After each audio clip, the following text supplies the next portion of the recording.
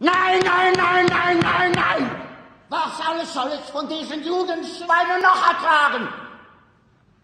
Schlachten meine Männer ab wie Fliegen.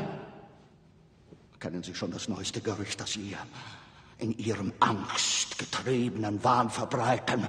Der, der meine Männer mit einem Prügel totschlägt, der, den man Bärenjude nennt, soll ein Golem sein. Das ist doch Soldatentratsch.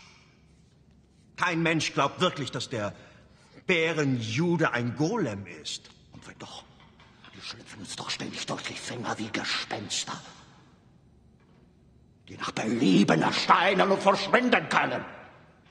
Sie wollen beweisen, dass sie aus Fleisch und Blut sind. Dann bringen Sie sie mir. Ich werde sie nackt an ihren Füßen am Eiffelturm aufhängen und ihre Leichen in die Kanalisation werfen lassen, dass die Ratten von Paris sich an ihnen mästen. Kliest. Ja, mein Führer. Befehl an alle in Frankreich stationierten deutschen Soldaten.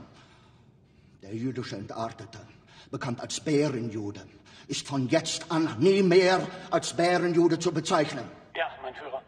Wünschen Sie noch den gefreiten Butz zu sehen? Wer oder was ist ein gefreiter Butz? Der Soldat, den Sie persönlich treffen wollten. Sein Trupp ist in einen Hinterhalt der Juden von Leutnant Race geraten. Er hat als einziger überlebt. Selbstverständlich will ich ihn sehen. Danke, dass Sie mich erinnern. Schicken Sie ihn rein.